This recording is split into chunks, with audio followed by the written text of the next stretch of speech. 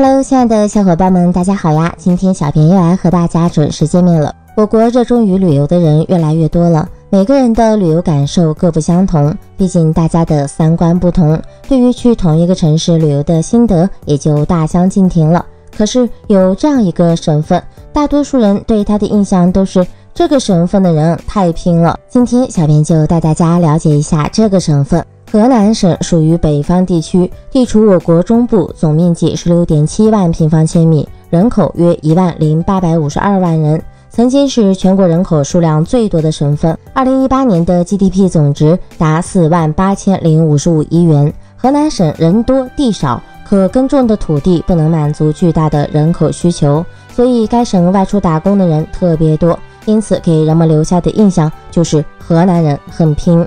河南省有幺零五、二零七、三四三等二十三条国道，京广铁路和徐兰铁路纵贯该省境内，还有发达的轨道和航空，这些便利的交通为河南人去祖国各地发展打下了基础。勤劳一直是中国人民的优良传统，这个特质在河南人身上尤为突出。每个背井离乡去外地打拼的人都带着自己的梦想，活跃在祖国各地。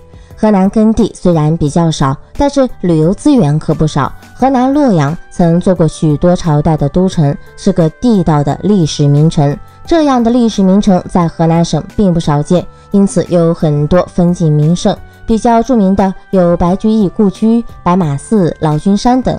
不管是人文景点还是自然景区，都别具特色，令人向往。河南的老君山，据传是道教文化的发祥地。山中有十六座庙宇，每座庙宇的主题都不同。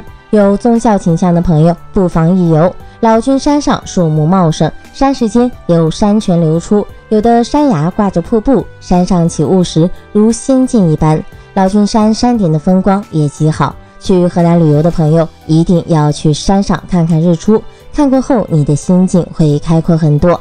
烦恼也变得淡薄了，因为在这神奇的大自然面前，一切都变得渺小了。你想不想试试呢？好啦，今天的视频到这里就要和小可爱们说拜拜啦！如果喜欢我们的节目，希望每一位来过的朋友们评论、转发以及关注哦。